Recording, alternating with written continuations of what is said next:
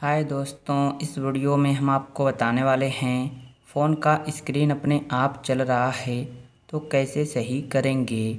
तो इसके लिए हम आपको कुछ तरीका बताएँगे, जिसकी मदद से आप सही कर सकते हैं। तो सबसे पहले, फ़ोन में फाइल्स ऐप को ओपन करना है, फ़ाइल बाई गूगल ऐप को। तो इस तरह ओपन होगा। अब ऊपर तीन लाइन का ऑप्शन मिलेगा, इस पर क्लिक करना है। और अब यहाँ पर ऊपर क्लीन का ऑप्शन मिलेगा, इस पर क्लिक कर देना है। तो जैसे ही क्लिक करेंगे, अब यहाँ पर चेक करना है फ़ोन का स्टोरेज कितना खाली है और कितना भरा है।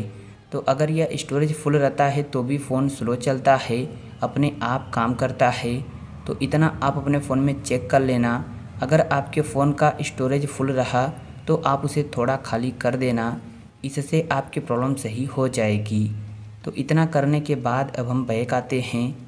अब देखिए आपको चेक करना है, आपके मोबाइल में जो भी ऐप इंस्टॉल है, चाहे वो कोई गेम है या फिर आपने कोई ऐप इंस्टॉल किया है और आप उस ऐप को यूज़ नहीं करते हैं, आप उस ऐप को नहीं चलाते हैं, बस आपके फ़ोन में ऐसे ही पड़े हैं तो उन ऐप्स को आपको डिलीट कर देना है।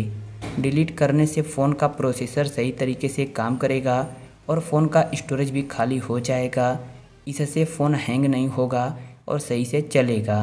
तो इतना आपको करना है। इतना करने के बाद अब फ़ोन के सेटिंग्स में जाना है और अब चेक करना है फ़ोन का सॉफ्टवेयर अपडेट। तो अगर आपके फ़ोन में सॉफ्टवेयर अपडेट आया रहेगा तो सबसे पहले आप अपने फ़ोन को अपडेट कर लेना। अपडेट करने से फ़ोन में जो कुछ भी प्रॉब्लम रहेगी, सब ठीक हो जाएगी और आपका फ़ोन बिल्कुल भी सही हो जाएगा। तो इस तरह भी आप सही कर सकते हैं। इतना करने के बाद, अब देखिए फ़ोन का जो पावर बटन है, जिस बटन से मोबाइल लॉक होती है, इस बटन को कुछ सेकंड तक दबाकर रखना है। तो यहाँ पर ऑप्शन आएगा री स्टार्ट का।